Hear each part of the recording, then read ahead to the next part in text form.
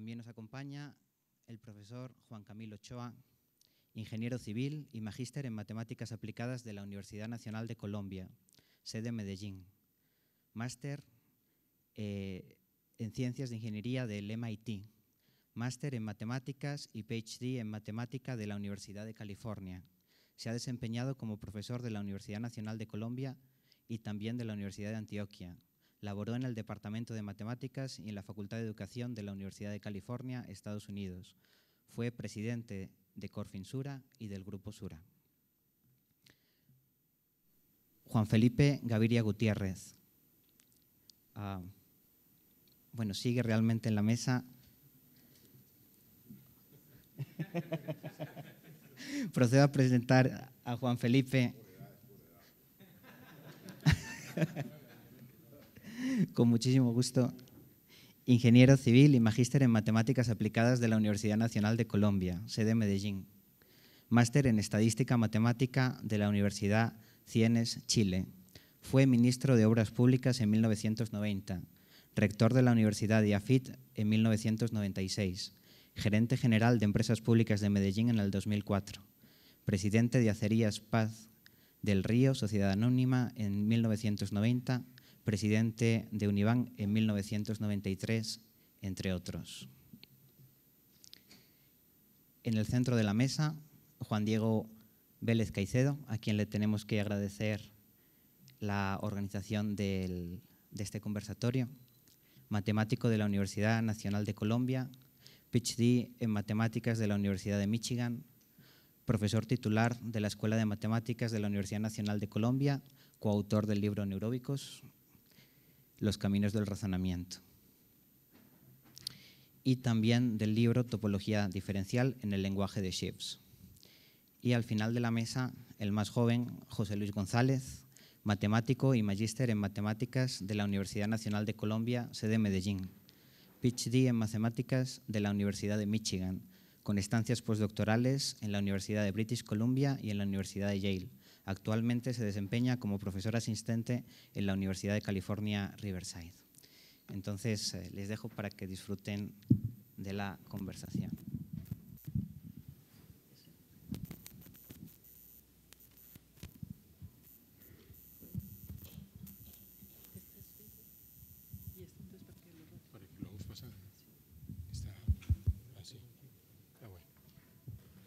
Bueno, muchas gracias por venir a este conversatorio. Eh, el conversatorio fue una idea de David y de otras personas que me parece una idea valiosa porque es importante, creo yo, entender un poco cómo surgen las escuelas. A uno le parece que es algo gratuito, uno llegue y ya encuentra una planta profesoral, unos programas y realmente, como en todas las universidades del mundo, hay una historia detrás. Todas las universidades, aún las universidades más famosas, arrancan con dos o tres personas que crean una escuela. ¿cierto? Las, grandes universidades americanas como el MIT era un colegio, un college, antes de que llegaran muchos de los matemáticos que llegaron después de la Segunda Guerra Mundial. Lo mismo la escuela grande que se formó en Brasil, eran dos o tres matemáticos que llegaban. Las escuelas que se han formado en todas partes del mundo, y no es una excepción, fueron creadas por personas que lentamente fueron desarrollando y eh, trayendo cultura y desarrollando una escuela, eh, aportando conocimientos, formando estudiantes. Esos estudiantes muchas veces se iban al exterior, venían y formaban otros estudiantes. Y yo creo que esa ha sido la dinámica en todo el mundo y es la dinámica en esta misma universidad. Y aquí lo pueden ver en esta mesa, pues estamos distintas generaciones de ese proceso. Entonces yo creo que ¿Aló? Sí. Podemos empezar un poquito, yo creo, hablando de la prehistoria. Antes de la historia del posgrado, la prehistoria del posgrado, em, la matemática más o menos a mitad del siglo XX, en los años 50. Eh, aquí yo creo que posiblemente no le voy a decir el doctor Antonio, sino mi papá. mi papá puede empezar la historia contándonos un poco cómo era la matemática en los años 50. Buenas tardes a todos. Yo soy realmente el fósil de aquí, porque voy a hablar desde 1950. Yo estaba terminando bachillerato, tenía que elegir la carrera, iba a hacer una carrera. Eh, eran pocas las facultades que había. Eh, la Escuela de Minas era muy importante, muy famosa para estudiar ingeniería. Ingeniería química en la Universidad de Antioquia, Derecho, y Bolivariana tenía, eh, no tenía ingenierías, pero en 1951 abrió la carrera de ingeniería eléctrica. Entonces, para elegir,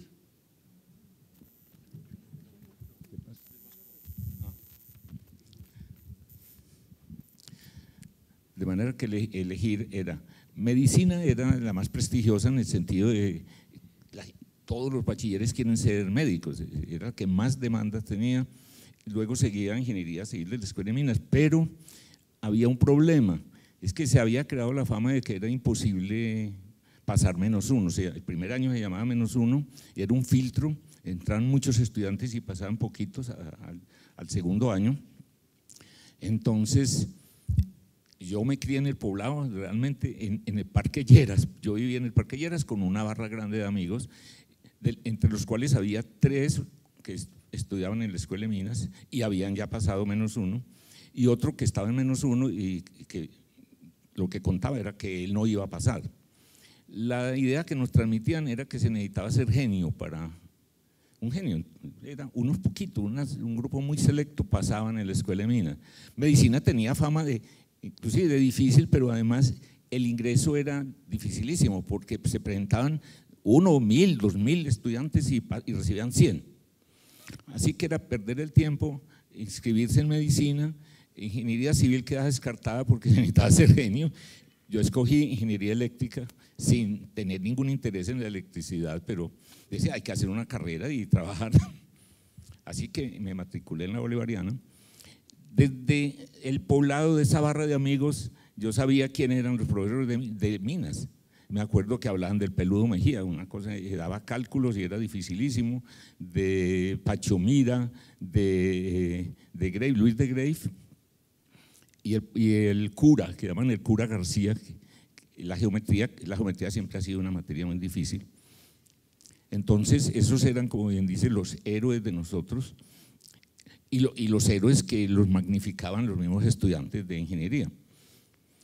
Lo que se enseñaba era de un nivel eh, bajito, pues mirado desde, ahora, desde hoy era muy bajito el nivel, pero eran muy exigentes.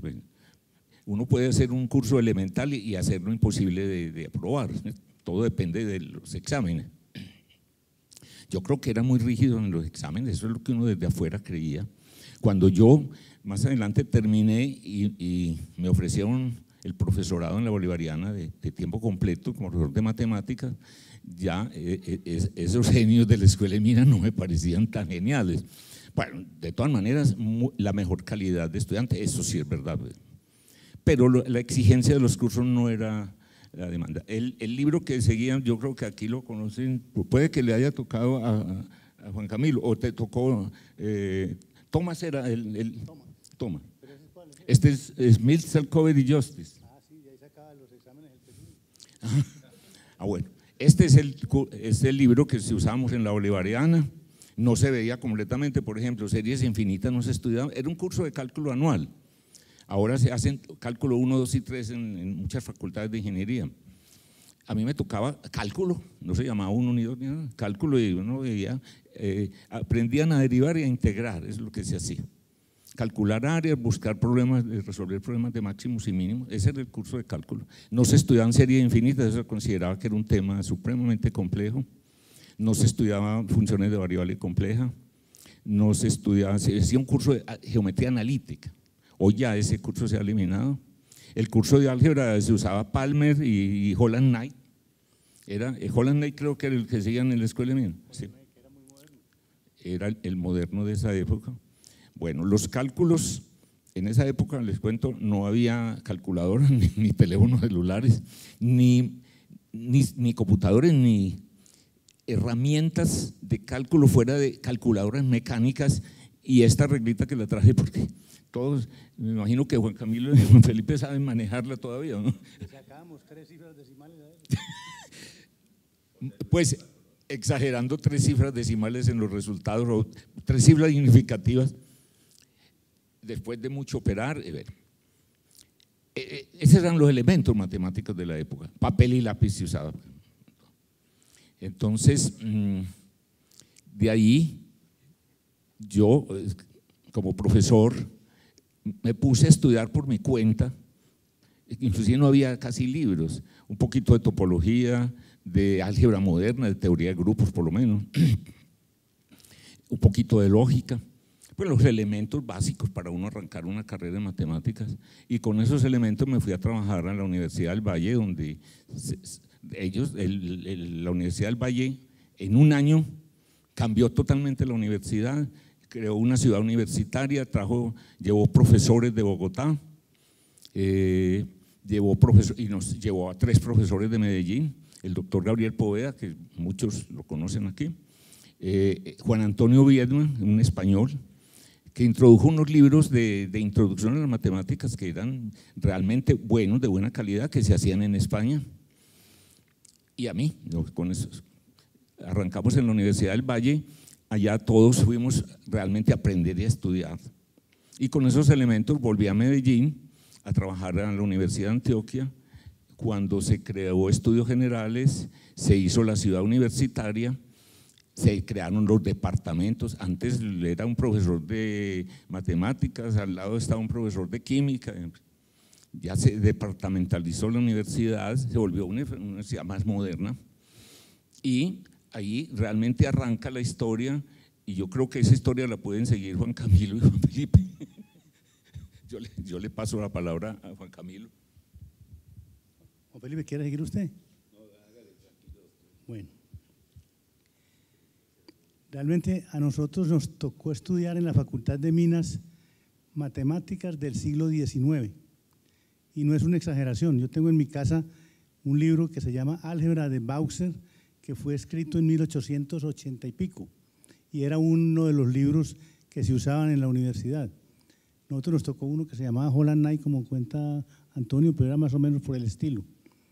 O sea que en la Facultad de Minas se estudiaba matemáticas del siglo XIX, pero había una característica, y era que los profesores eran muy exigentes y los estudiantes eran muy seleccionados, porque, como decía Antonio, había un temor de presentarse al examen de admisión en la Facultad de Minas, ¿no es verdad? Antonio, que había temor de presentarse al examen de admisión en la Facultad de Minas porque era famoso, que rajaban a todo el mundo. Entonces, la selección de los estudiantes y la exigencia de los profesores exagerada frente a un currículum anticuado, de todas maneras, producía unos estudiantes que se defendían en todo lo que eran matemáticas elementales. Es decir, a uno no lo rajaban en una identidad trigonométrica o en la solución de una ecuación cúbica o en cualquier otra cosa elemental de matemáticas.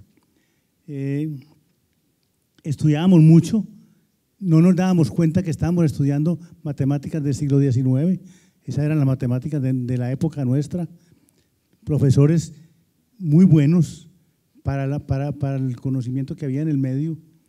Eh, y de ahí fue saliendo un grupo de, de estudiantes en la Facultad de Minas que estaban estudiando ingeniería, pero querían estudiar matemáticas como decía Antonio ahora. O sea, el que, le gustaban las matemáticas, un bachiller de Medellín, que le gustaban las matemáticas, trataba de entrar a la Facultad de Minas, porque tenía fama de que ahí las matemáticas eran serias. Entonces se fue formando un núcleo, poco a poco, de estudiantes con mucho interés en la matemática, a pesar de que la universidad estaba detrás. O sea, la universidad estaba atrasada frente a esos estudiantes realmente. La universidad no seguía el paso que seguían los anhelos de los estudiantes de la época. Eso fue creciendo poco a poco. En la, a lo largo de la carrera fuimos en el grupo que yo fui compañero de Juan Felipe. O sea, este, éramos del mismo grupo.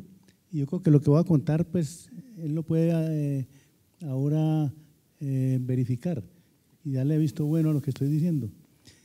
teníamos más ganas de estudiar matemáticas que ingeniería.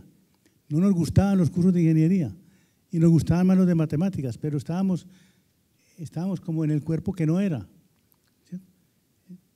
Entonces, llegó un momento que empezamos a pedir cuerda.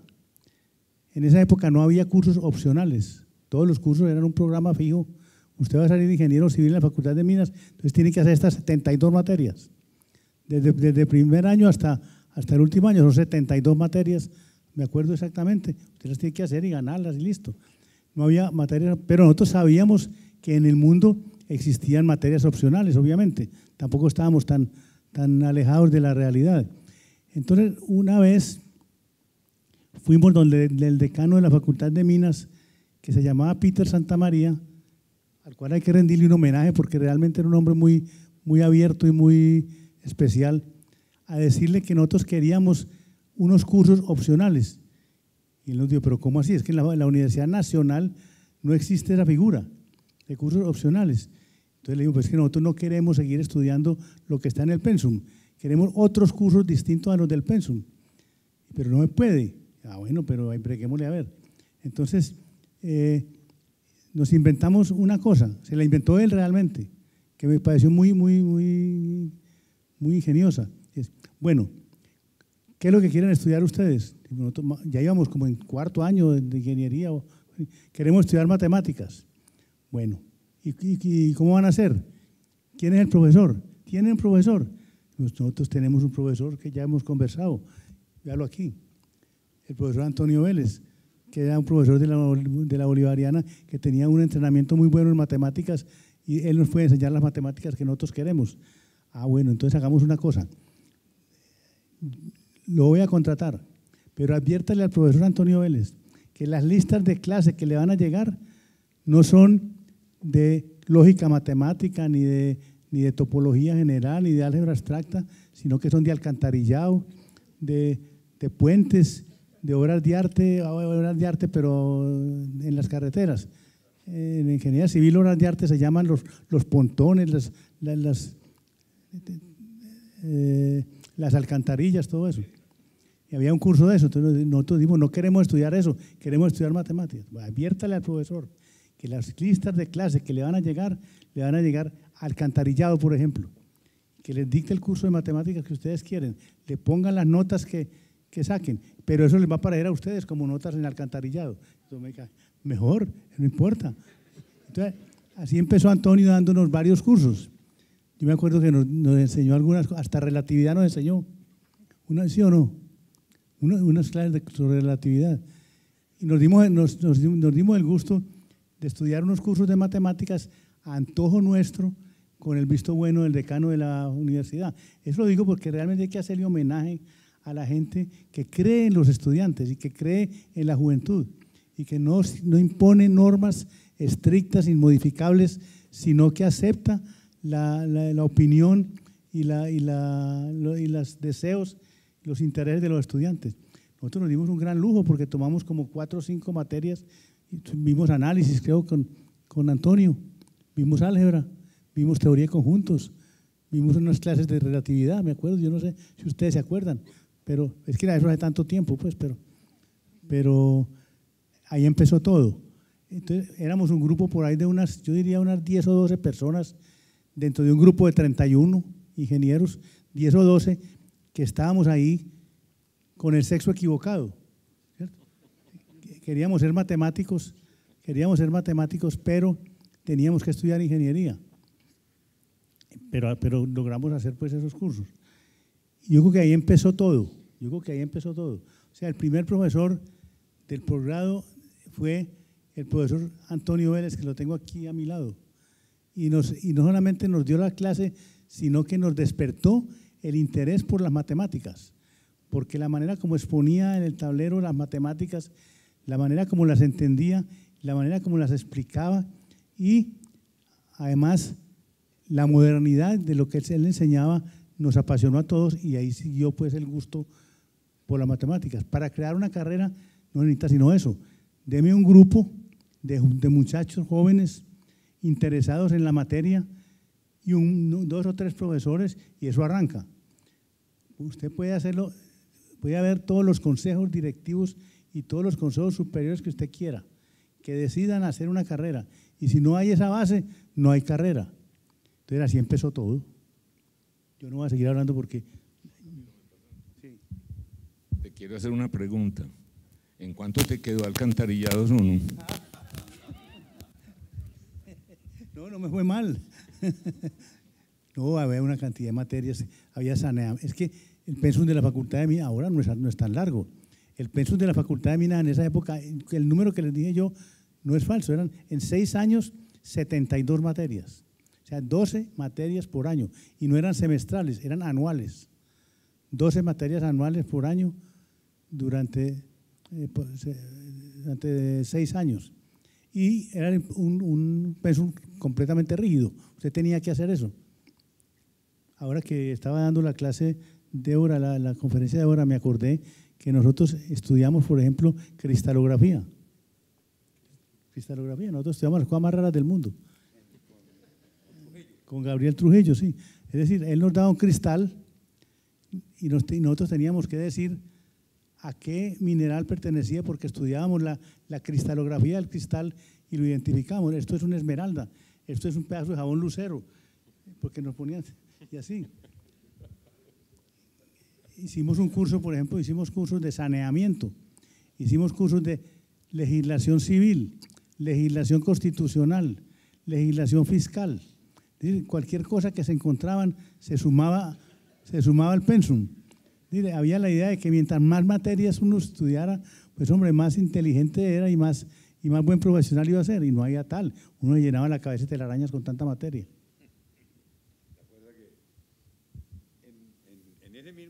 teníamos clase de economía, que eran ideas económicas mínimas, y eran de verdad mínimas las ideas económicas. Totalmente. Está apagado.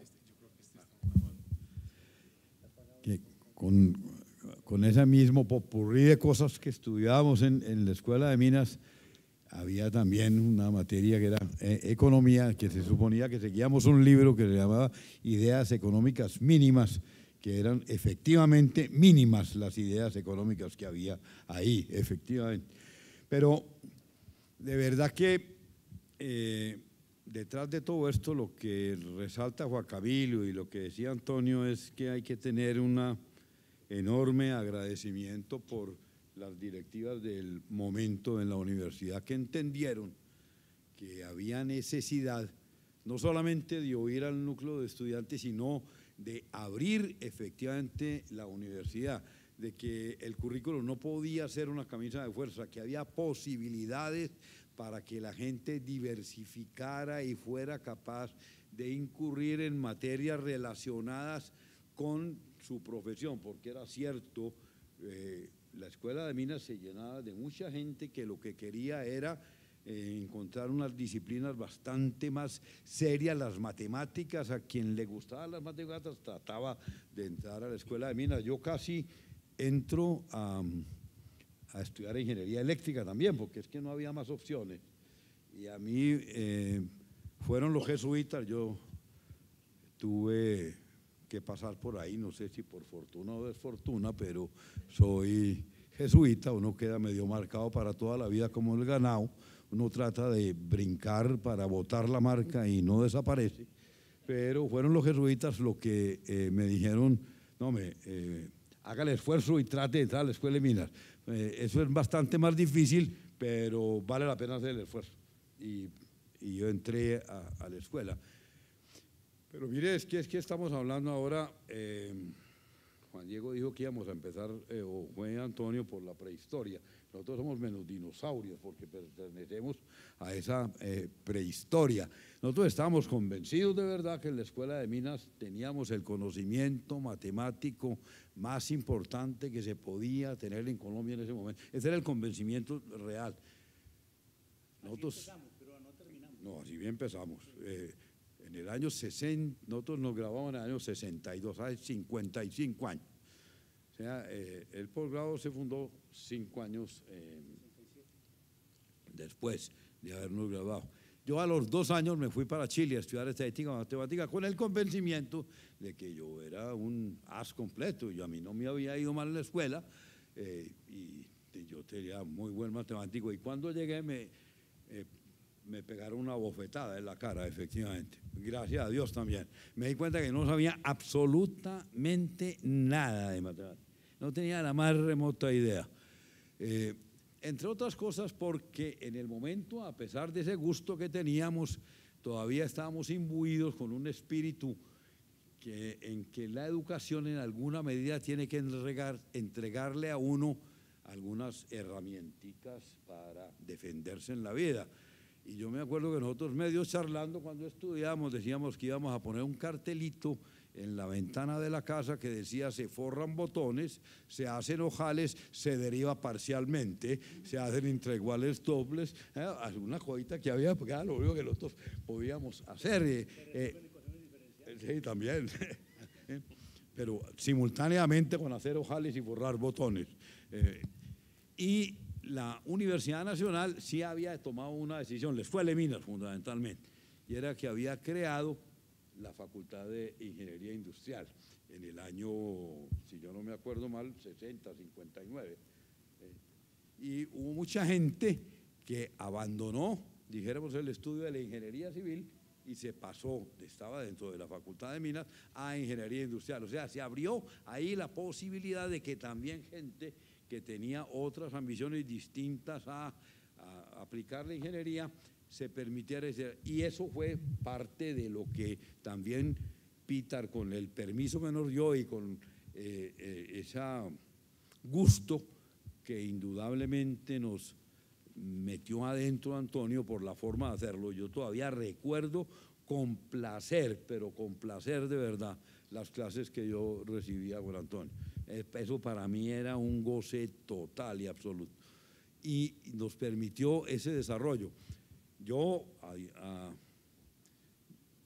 distinto de, Juan Camilo, que ese siguió por el camino, rápidamente pues abandoné también la disciplina de las matemáticas. Hice eso, yo me acuerdo que eh, cuando me dijeron que por qué me había ido a estudiar estadística matemática, una cosa tan extraña, y no, yo tenía que irme a estudiar cualquier cosa, me, se me ofreció una beca para estudiar estadística matemática, me gustaba y pues, yo me voy para allá.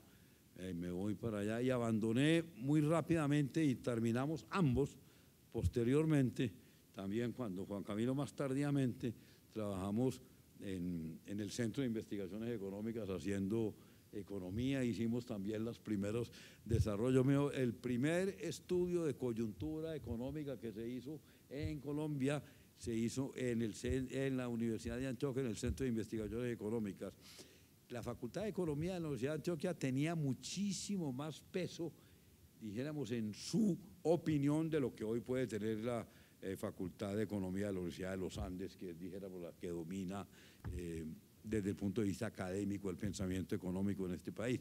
Ah, que eh, siempre pasamos por muchas cosas fue, nosotros, yo no me siento nada distinto a haber sido en alguna medida el pionero, el haber permitido que las cosas que ocurrieron para bien en la universidad ocurrieran, que para mí personalmente fue un gusto maravilloso haber incurrido por ahí, pero que si alguna cosa tenemos que decir es que eh, permitimos por ese gusto que las cosas empezaran a nacer.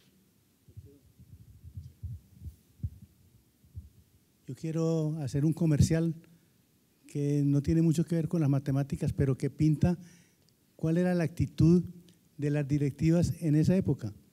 Eh, en 1960 vino un grupo de sacerdotes españoles franquistas a Medellín a hacer una cosa que se llamaba la Gran Misión. La Gran Misión era una serie de sermones en todas partes y de rosarios a las 5 de la mañana en todos los barrios, una cantidad de, operaciones pues, de tipo religioso eh, impresionantes. Y entonces un, el, decano de la, Facultad de Arquitectura de la Bolivariana, que se llamaba eh, Antonio Mesa Jaramillo, sacó un artículo en el colombiano eh, criticando esa misión, que realmente era una cosa bastante extraña, medio franquista, muy ajena pues a lo que es nuestra sociedad. Entonces sacó un artículo en la prensa criticándolo y entonces lo echaron de la Bolivariana Antonio Mesa. El, el, Monseñor Félix Henao, que era el rector de la Bolivariana, lo echó. Entonces, en ese momento, nosotros no teníamos, había una materia entre, una materia entre todas las que teníamos que hacer que se llamaba cultura general. ¿Cómo le parece? Cultura general se llamaba la materia. Y no teníamos profesor. Entonces, apenas echaron a Mesa Jaramillo de la Bolivariana, nosotros fuimos donde el doctor Santa María a decirle que ya, que ya teníamos profesor para la clase de cultura general. Digo, ¿quién es? Le el doctor Antonio Mesa Jaramillo, que lo acaban de estar de la Bolivariana. Digo, dígale que venga, que yo le hago el contrato. Y ahí mismo lo contrató. Entonces nosotros tuvimos el, placer de recibir el curso de Cultura General con Antonio Mesa Jaramillo, que era un hombre realmente muy culto y muy especial. Pero esa actitud de unas directivas universitarias de oír a un estudiante, a un grupo de estudiantes, pensar que de pronto tienen la razón pensar que lo que están proponiendo puede ser un avance en, la parte académica de la universidad es muy importante y eso se da poco realmente, por lo menos en la vida eh, universitaria mía pues, se dio muy pocas veces. Sí, yo creo que ese es uno de los puntos fundamentales. Yo creo que en todas las generaciones ha ocurrido ese mismo problema siempre es difícil, hay un movimiento de estudiantes que piden cursos más avanzados o que quieren tomar materias distintas y hay una resistencia siempre por una inercia cultural que se va venciendo. Yo quisiera volver a tocar un tema sobre el nivel de las matemáticas en la época. Ojeando este libro de cálculo, el que llamaban el fósil, yo veo que ese libro esencialmente es muy parecido a cualquiera de los libros que se siguen ahora. O sea, yo no veo mucha diferencia, excepto por el lenguaje tal vez que usa por ejemplo, tiene una sección dedicada a definir infinitesimales, pues, pero lo hace como una noción de límite, de una, una manera un poquito intuitiva, pero esencialmente, fuera de muchos ejercicios repetidos que tienen los libros modernos, es básicamente el mismo, el mismo currículo, pues no ha cambiado mucho. Sí, porque en eso los textos son muy malos realmente. Ese libro, en la época en que yo estudié, era un libro donde nosotros buscábamos problemas complicados para prepararnos para los exámenes. Es que la, pedagogía cambió mucho. El Peludo Mejía, que era nuestro profesor de cálculo, muy famoso él, eh, y muy estricto, eh, tenía, los estudiantes de la facultad iban coleccionando los, los problemas de los exámenes del peludo, que eran muy complicados. Entonces uno para prepararse a un examen lo que hacía era ponerse a estudiar los exámenes del, los exámenes del peludo, porque eran todo cosas dificilísimas. O sea que realmente no estaba estudiando uno por aprender, sino para ver cómo pasaba un examen, que no, que, no es la manera pues, de, aprender. Uno estudiar para un examen es una cosa que es una técnica, es una técnica cómo pasar exámenes y otra cosa es, es aprender, muy distinta. Juan Camilo, que valdría la pena con, eh, dijéramos, eh, dejar ya a un ladito. Y es, eh, cuando veníamos para acá, estábamos conversando que pasó lo primero que pasó con Tonino, pero cuando aparece ya posteriormente las primeras clases del posgrado, nosotros tuvimos también un montón de gente que fue importantísima para nosotros, Federici, Takeuchi, ¿usted se acuerda más de esa gente? Fueron los siguientes, fueron Carlos Federici, que murió hace poco realmente, debió morir desde 100 años o algo así, que nos despertó muchas inquietudes pues, por la matemática. Carlos Federici, eh, Yuta Keuchi, que muchos de aquí lo conocen, que nos, daba, nos dio análisis matemático por un libro que es el de Apóstol, creo que el análisis matemático de Apóstol, que es un buen libro todavía, era, era un buen libro pues en la época que estudié. Eh, Jairo Charris, que era un profesor de la Universidad Nacional de Bogotá, que tiene un libro de álgebra muy bueno. Eh, Jaime Lesmes, que nos dio el curso de topología, muy bueno, un curso pues moderno de topología, eh, que siguió, creo que el curso, siguió el, texto de Simon, si no recuerdo mal, que es un buen libro, o era un buen libro pues hace unos años, no sé todavía. Eh, ¿Quién más? Un, un brasilero que se llama Nelo Alan, que nos daba clases de álgebra conmutativa. Esos profesores eran profesores de la Nacional de Bogotá y vinieron aquí invitados por la Facultad de Minas para que pasaran un semestre en Medellín. En ese semestre pudimos nosotros como grupo tomar cinco materias avanzadas de matemáticas que aquí era casi imposible tomarlos. Fuera de Antonio no había nadie más que fuera capaz de dictar esos, esos cursos. De manera que esa fue una operación que no se ha vuelto a hacer, creo yo, en la Facultad de Minas, de, aprovechar la pertenencia a la Universidad Nacional y traer profesores de Bogotá muy buenos por un, por un periodo corto, por tres meses, por seis meses, para, para hacer un curso. Es mucho más fácil en la Universidad Nacional, por ejemplo, que en la Universidad de Antioquia, porque la Universidad Nacional tiene una sede en Bogotá muy importante, muy grande, con muy buenos profesores y con muchos con muy buenos programas. Eso también ayudó mucho. yo diría que ese fue el germen del programa de posgrado en matemáticas de la Facultad de Minas. Fue esencial porque nosotros hicimos esos cinco cursos, por ejemplo, con esos cinco profesores y ya no quedaba sino otros tres o cuatro cursos más para sacar el, el magíster.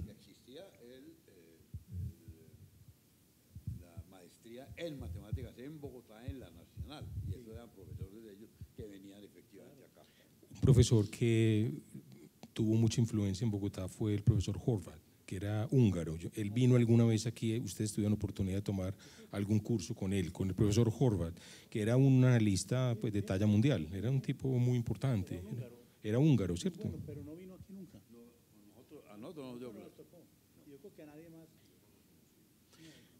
Bueno, una pregunta que yo tengo bien. ¿Ah, sí? ¿Horvath era un profesor?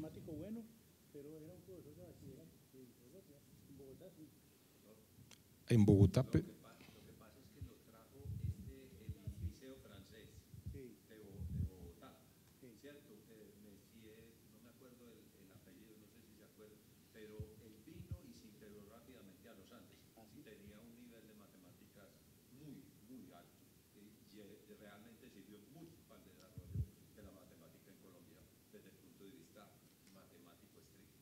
Ah, sí. Sí, fue un analista con una, eh, de una talla muy alta, pues era en el momento un tipo muy destacado y pensé que ustedes habían tenido de pronto oportunidad.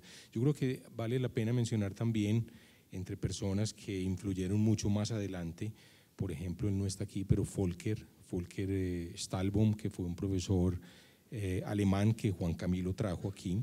Volker formó muchos estudiantes, pero además trajo una cosa muy buena, era que aquí no había libros de matemáticas. Si uno iba a la biblioteca de matemáticas, a la biblioteca central, había unos libros viejos de cálculo en francés. Todos eran unos libros viejos que había en francés, unas lecciones por allá como el siglo XIX de análisis, y Volker empezó a traer los primeros libros del Springer.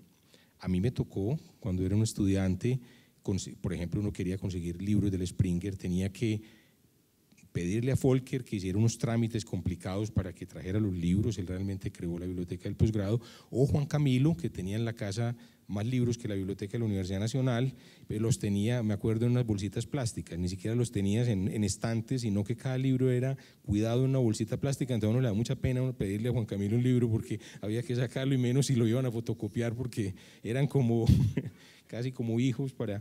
Y a mí me da mucha pena prestarlo también. Es que es, eh, pues son cosas que, que uno toma ya por dadas, pero no había biblioteca. No había biblioteca y había que conseguir los libros. Entonces, por ejemplo, los primeros libros de análisis, los primeros libros de análisis que se empezaron a seguir aquí eran libros que se conseguían con algunos profesores. Juan Diego, yo le digo, para pedir un libro de matemáticas había que hacer lo siguiente. Usted se da cuenta que existía un libro de matemáticas en que usted estaba interesado en Medellín y que no, no estaba en la biblioteca, usted tenía que mandar una carta a la editorial diciendo que le mandaran una factura pro forma. Esa carta se demoraba un mes en llegar pues a la editorial. La editorial le mandaba a uno la factura pro forma, otro mes. Entonces, con esa factura pro forma tenía que ir uno al banco para que le vendieran los dólares. Entonces el banco le vendía, porque estaba todo eso controlado. Entonces le vendían los dólares. Le vendían los dólares, ¿qué quería decir? Que el mismo banco mandaba una carta a la editorial para que le mandaran a uno el libro. Entonces vuelve otra vez para la editorial y vuelve otra vez el libro para acá. O sea, el libro llegaba a los tres o cuatro meses del momento en que uno se le despertaba la inquietud de, tener. Hoy en día usted abre Amazon, busca el libro y lo manda y en ocho días está aquí. Cualquier libro. Ni siquiera Amazon Juan Camilo, hay bibliotecas piratas como LibGen y OKBook, donde uno consigue instantáneamente todos los libros prácticamente, es decir, uno puede cargar en el celular o en una tablet 500 libros de matemáticas, más de los que hay en las bibliotecas. Es la versión moderna, sí, Amazon ya es otro, sí. Yo tengo una pregunta, no sé si ustedes saben la respuesta. ¿Por qué el posgrado de matemáticas aplicadas em- eh, empezó a funcionar en 1967, pero la carrera es posterior? La carrera es del 75. ¿Por qué razón? Parece una cosa como muy extraña. Porque la inquietud del grupo de estudiantes eran estudiantes de ingeniería avanzados que querían tomar cursos de matemáticas. No era gente que quería hacer la carrera de matemáticas. Era gente que quería hacer cursos de matemáticas avanzados. Entonces, por esa razón, empezó primero el posgrado, que era un posgrado para ingenieros. Eso no era para matemáticos, era un posgrado para ingenieros. Inclusive, el título que daban era Magíster en Ingeniería con especialización en matemática aplicada. ¿Cierto? De manera que por eso fue.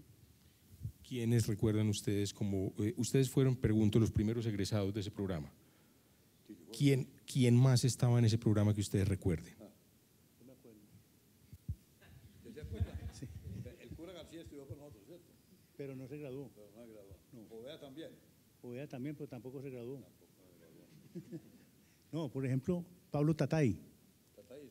Estudió con nosotros, que era un hombre muy inteligente, Antonio lo conoció. ¿cierto? Darío también, Darío Valencia. Tatay era húngaro. Tatay era húngaro.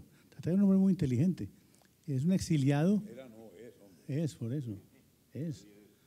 Es un exiliado húngaro de la Segunda Guerra Mundial. La familia de él salió huyendo de Hungría, saltando eh, alambrados y vinieron a dar aquí a Medellín con la ropa que tenían. Y él entró, al- fue compañero mío en el colegio. Entró al colegio de San José a primero bachillerato. No, no, no, a San José. Al primero bachillerato y al mes ya nos llevaba ventaja en todo. Un hombre muy inteligente. Desafortunadamente, y con muy talento muy bueno para las matemáticas. Desafortunadamente no le gustaban las matemáticas. Tenía ese pequeño inconveniente. Entonces nunca estudió matemáticas. Él se dedicó a otras cosas. Había otros que estudiaron en ese grupo, eh, un profesor español que había aquí, ¿cómo llama? Navarro. Roberto Navarro, que era profesor de minas, también estudió eso. No, era un éramos un grupito por ahí de unos, muy poquitos, sí. Yo quisiera, Juan Camilo, que de pronto nos contaras un poquito también de la llegada de Volker, que tú fuiste el artífice para la, el, el que trajo a Volker aquí. Pero no, no, eso fue una cosa. Hombre, una vez llegó, una vez llegó una carta de una cosa que se llama eh, eh, como emigrantes. ¿Cómo? No, no, no. Era una oficina de inmigración, una oficina de inmigración que realmente era una oficina de emigración alemana, ofreciendo los servicios de un matemático con doctorado en matemáticas de la Universidad de, de- ¿cómo se llama esa ciudad que tiene tres nombres, hombre? Que tiene nombre en alemán, en francés y en, español. Eh, bueno, Aachen, la Universidad de Aachen, Aquisgrán es en español, A- Aachen y eh, no sé qué de Chapelle en francés. Él, tenía un, doctorado de esa universidad y se, y se ofrecía para venir a, a Colombia, pero es una casualidad. Yo no sé por qué le metió a él que, que quería venir para Colombia, porque tenía un doctorado de una universidad muy seria, eh, tenía muy buen nivel de matemáticas, como pudimos comprobar aquí cuando él vino, y él se vino y todavía creo que, ah, no, ya no da clases, en la- en la- ya. Se jubiló, sí, bueno, así llegó, pero era muy escaso, pues, muy escaso conseguir un profesor visitante o conseguir un profesor extranjero era casi imposible, hoy en día es muy fácil. Bueno, yo creo que por cuestión de tiempo debemos movernos un poquito más adelante. Entonces, unos ya unas décadas más adelante y darle la palabra ya a la generación más joven, a, José Luis, que fue uno de mis estudiantes del posgrado, eh, que José nos cuente también un poquito de su experiencia aquí en el posgrado. Claro, con mucho gusto. Ah, bueno, eh, yo estuve, yo disfruté mucho la carrera y el posgrado aquí en la universidad y después cuando yo fui a estudiar a Estados Unidos, yo no sabía qué esperar porque yo no sabía con, cómo comparar el nivel que teníamos. Entonces yo recuerdo que con varios de los compañeros al principio hablábamos, bueno, eh, por ejemplo, yo me preguntaban, ¿has tomado alguna clase, digamos, en álgebra conmutativa en geometría algebraica? Yo decía, así un poquito, lo normal, cuatro. cuatro. Y ellos habían tomado una o ninguna o algo así. Y uno se da cuenta que el nivel aquí ya estaba muy bien. Por ejemplo, en topología, eh, en topología y topología algebraica, yo recuerdo que habíamos tomado varias clases. O sea, mi generación toda fue así. Eh, yo recuerdo que tomamos clases muy bonitas, yo tomé clases muy bonitas solo por mencionar algunas con Diego Mejía, con la profesora Margarita. Yo recuerdo una clase hermosa de topología con Débora, que eh, eh, Camilo me pidió que por favor mencione una cosa muy especial que Débora hizo en una clase de topología cuando Camilo una vez estaba jugando creo que fútbol o frisbee y se lesionó el pie y él no se podía mover, estaba como quebrado y teníamos un examen y Débora dijo, no, el estudiante lo debe tomar. Entonces vamos a la casa del estudiante y fuimos hasta allá todo el grupo y allá tomamos el examen. Eso fue muy amable de Débora y, Camilo lo aprecia mucho. Eh, yo después tomé eh, muchas clases con Juan Diego. Yo, por ejemplo, decidí tomar topología algebraica 2 porque la había ofrecida apenas habiendo tomado cálculo. Yo ni siquiera había tomado topología, yo no sabía que era un espacio topológico, pero yo vi topología algebraica 2, eso se escucha muy bueno y me metí ahí. Y el primer minuto fue Juan Diego llegó y dijo, bueno, eh, el objetivo de este curso es que voy a construir un delta functor universal de la categoría de espacios topológicos, sus funciones continuas. Puedo decir una retabla como de cinco minutos ahí que él dijo. Y yo era, ¿qué? Por Dios. Entonces después yo me di cuenta que los otros estudiantes estábamos en la misma condición. Entonces en la siguiente clase le pedimos a Juan Diego que repitiera la retaíla y nos habíamos puesto de acuerdo como entre tres a tratar de copiar pedacitos de la retaíla para tratarla de copiar y después no la aprendíamos de memoria y para el examen final yo ya me sabía la retaíla y el examen final era oral. Entonces Juan Diego me dijo, bueno, ¿y cuál es la parte que más te gustó de la clase? Y yo, ah, pues esa parte donde construiste el delta functor universal de la categoría y todo eso. No, yo siento que el programa de maestría que me tocó a mí fue muy bueno, clases muy avanzadas. Una de las cosas más especiales fueron los profesores y los compañeros.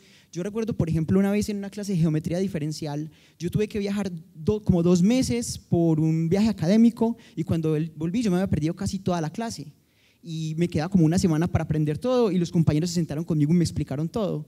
Eso me pareció muy especial.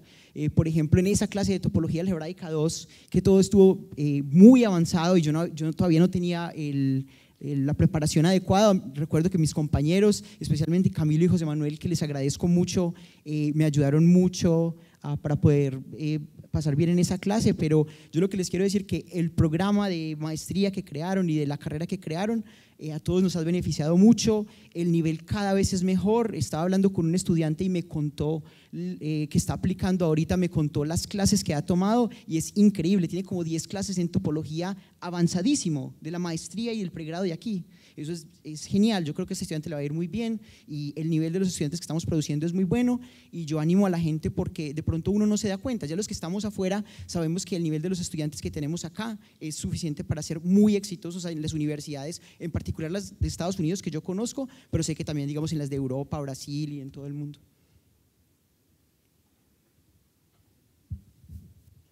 Bueno, yo creo que, bueno, José, muchas gracias por... Eh, bueno, yo como decía Juan Camilo, yo creo que ese es un espíritu que hay que mantener.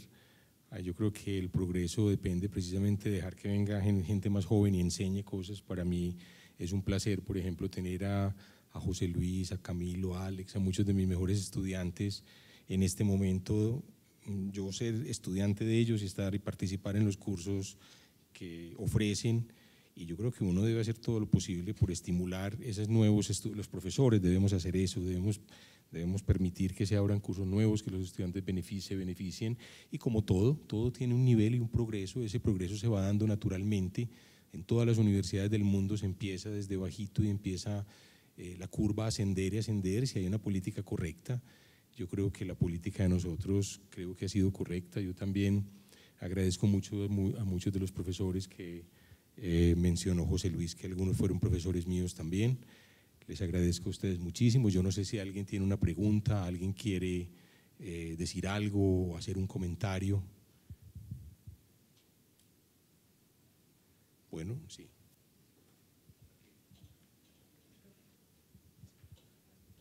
yo quisiera, como mencionar unas cositas relacionadas un poco con lo que Juan Diego mencionaba ahí un poco la insistencia sobre el papel de Volker. ¿Cierto? Yo creo que el primer seminario de investigación serio que tuvo nuestra universidad en matemáticas se debía a él.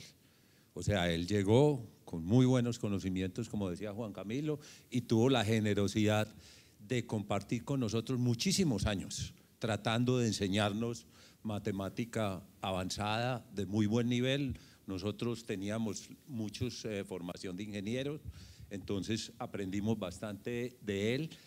Y el primer artículo que yo diría de investigación, nacido y producido en aquí, en la sede, es un artículo que sale de ese trabajo de Volker y viene a finales de los años 80. Eh, o sea, un problema que no venía de la tesis doctoral de ninguno por ahí afuera, ni cosas de esas, sino un problema que lo habíamos, pues que se había empezado a trabajar, digámoslo, a nivel nuestro. Y el, el mérito y toda la, digamos, la fuerza es, es de, ese de ese trabajo de, del profesor Volker que yo quiero pues, destacar aquí. ¿Alguna respuesta? ¿Alguna otra intervención? Bueno, eh, nuevamente yo saliendo de la especificidad, quiero expresarles agradecimiento realmente a nombre de la Facultad de Ciencias, porque nuevamente lo digo, eh, y ya escuchándolos a ustedes me doy cuenta es que la iniciativa de ustedes, el gusto de ustedes fue realmente eh, el que dio pie para el nacimiento de esta facultad. Es un placer, muchas anécdotas que en realidad eh, uno desconoce y uno le permite realmente entender y tal vez en el ámbito directivo lograr recopilar ideas que seguramente no siempre son tan fáciles de ejecutar. Ahora, pues en nuestra realidad institucional eh, hay un alto número de, estudiantes, ¿cierto? Eh, y por supuesto, eh, muchas veces se pueden dificultar los procesos administrativos de, abrir múltiples asignaturas, aunque siempre en nosotros está la intención y procuramos hacerlo como Juan Diego lo hace. Pero nuevos retos se, generan. Escuchaba al profesor, al doctor Juan Camilo, decir esas experiencias de, que profesores de la sede de Bogotá venían a hacer temporadas de formación a nuestros estudiantes. Bueno, orgullosamente nuestros profesores ahora son los profesores visitantes de muchas otras universidades y eso realmente es, es un orgullo para la Escuela de Matemáticas y para la facultad. Eh, muchas gracias eh, a ustedes y bueno.